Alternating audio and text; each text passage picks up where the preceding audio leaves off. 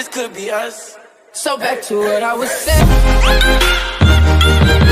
Could, could, could be us.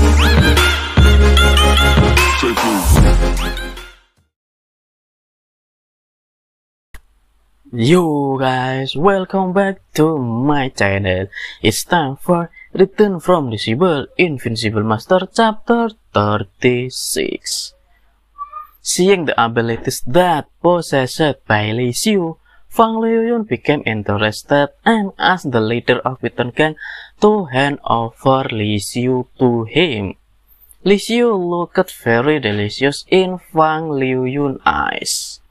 Since Chang'e Sex didn't want Giant Python Gang to spend a long time on this matter, later Python Gang asked Fang Liuyun to solve this problem quickly.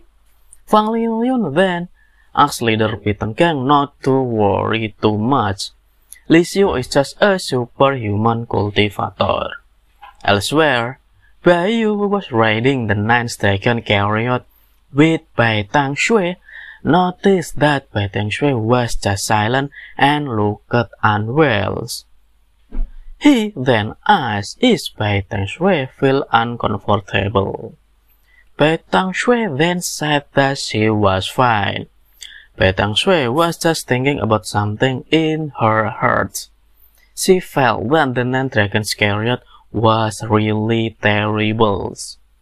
It came from the nine real dragons, but fortunately, the dragon was already died. Even so, the breath that the nine dragon chariot had still made it difficult for Bai Tang Shui to take a breath. Bai Yu himself hopes that nothing will happen to Li Xiu. Otherwise, whoever dare to touch Li Xiu, Yu will not hesitate to bury him alive.